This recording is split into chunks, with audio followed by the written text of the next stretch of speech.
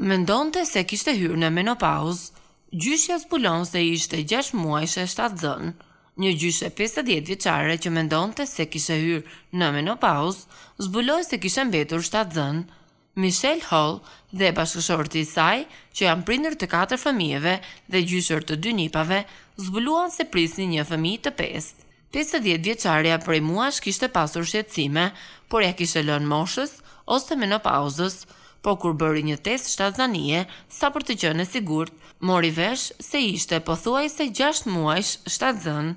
Michelle nuk kishte fituar kilogramë dhe as nuk kishte pasur simptoma që ka pasur zakonisht në shtatzanitë e mëparshme. Më njëzet e shtatë dhjetor të vitit dy mijë e tetëmbëdhjetë, Mishel dhe Xheri dhe fëmijët e tyre i uruan mirëseardhje në jetë vogëlushit Grayson.